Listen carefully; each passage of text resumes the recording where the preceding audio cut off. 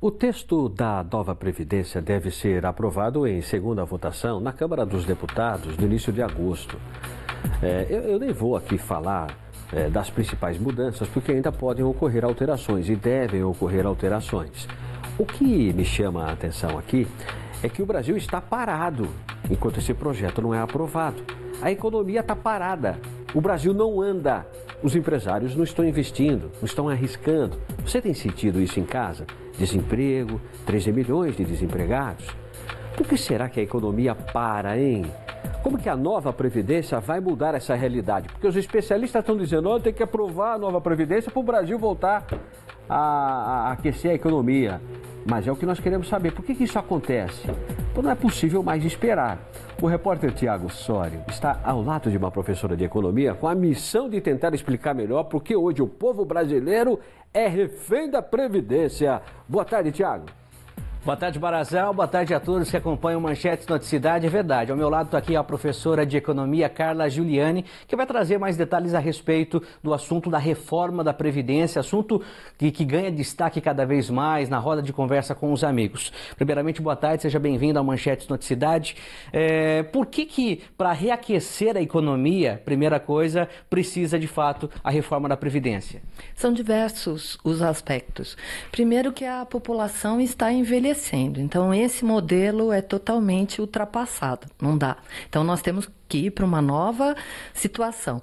Depois disso, uh, existe o aspecto realmente psicológico. Todo mundo achando que vai melhorar, acaba melhorando mesmo. E como essa reforma da Previdência, a reforma da Previdência e a economia reflete na vida do trabalhador? Vai ser de diversas maneiras. Vai diminuir né, as condições de algumas, de algumas pessoas, de outras vai aumentar o tempo em que ela vai ter que contribuir, vai aumentar um pouco a idade, mas tudo isso, no longo prazo, vai ser benéfico para a sociedade. Enquanto essa reforma ainda não é aprovada, o que, que o consumidor, o trabalhador, precisa fazer? Hum, usar de muita cautela, né? Tanto o trabalhador quanto o investidor. Por quê? Porque agora está numa época de transição. Então, muito cuidado. E tem uma previsão de retomada da economia depois dessa aprovação? Depois da aprovação, ela deve demorar alguns meses, tá certo? Porque a grande maioria acha assim: ela foi aprovada hoje, amanhã a economia volta a funcionar. Não é bem assim. Há toda uma necessidade de investimento, de criação de empregos, e aí sim retoma a economia e há uma, uma previsão de quando é, é, a gente começa a perceber essa, essa retomada? Enfim, quanto tempo o Brasil poderá sentir os efeitos positivos na, na economia? Eu acredito que entre setembro e final do ano nós já devemos estar sentindo a melhoria. É ah. o que a gente está precisando. Um assunto que está em destaque também nos últimos dias, inclusive hoje deve ganhar mais destaque ainda, com relação à liberação do FGTS, né? tanto das contas ativas quanto das inativas. A senhora acredita que isso pode ajudar a economia? Ah, não tenha dúvida, vai ajudar. Infelizmente não vai ajudar de muito, né? Porque os valores são realmente pequenos.